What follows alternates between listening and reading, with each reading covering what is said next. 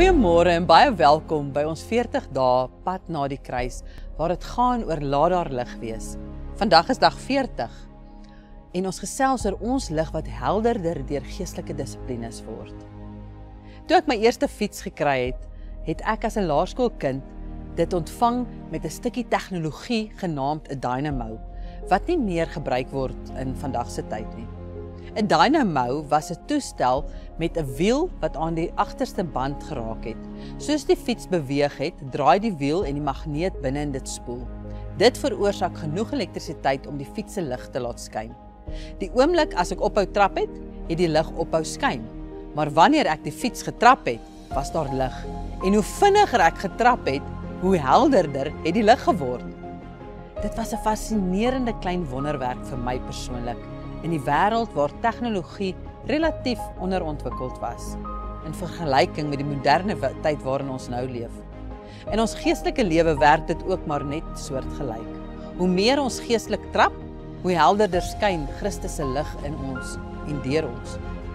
Hoe trap ons geestelik? Volgens die skrif is dit deur die beoefening van geestelike dissiplines. Daardeur word Christus se lig al hoe helderder in ons lewe. Johannes skryf hier van jare na Jesus se hemelvaart. Maar as ons in die lig wandel soos hy in die lig is, dan het ons gemeenskap met mekaar en die bloed van Jesus Christus, sy seun, reinig ons van alle sondes. Ons wandel in die lig van Jesus deur hom te volg in disippelskap, deur geestelike dissiplines te beoefen. Jesus nooi sy disippels uit om hom te volg. Kom na my toe, almal wat vermoeid en belas is, en ek sal julle rus gee. Neem my juk op julle en leer van my, want ek is sagmoedig en nederig van hart, en julle sal rus vind vir julle siele. Want my juk is sag en my las is lig, sê Matteus 11. Hierdie verse vertel ons dat om 'n disipel van Jesus te wees ten minste beteken om te leer van hom en deur hom te volg. Dis wat sy disippels op aarde gedoen het. Hulle het hom rondgevolg En soos hulle dit gedoen het, het hulle geleer van hom. Maar dit het dis dissipline geverg om Jesus te volg. Hulle moes gaan waar hy gegaan het. Geestelike dissiplines kan in 3 kategorieë verdeel word, naamlik dissipline van jou wandel met God, ander gelowiges en in die wêreld.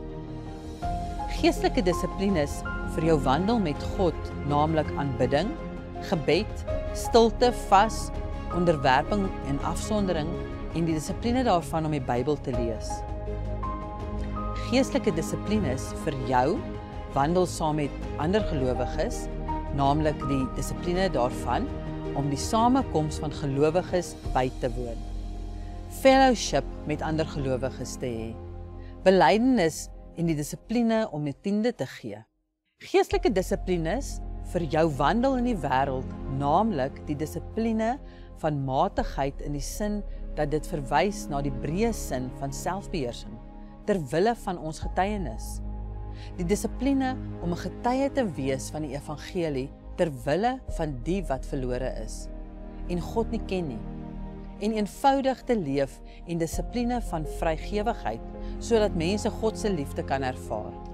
Wanneer mense soos disippels leef deur om met die lewe van Jesus te identifiseer en geestelik Jesus te volg, sal hulle sekerlik nie in die duisternis wandel nie, maar sal die lig van die lewe hê.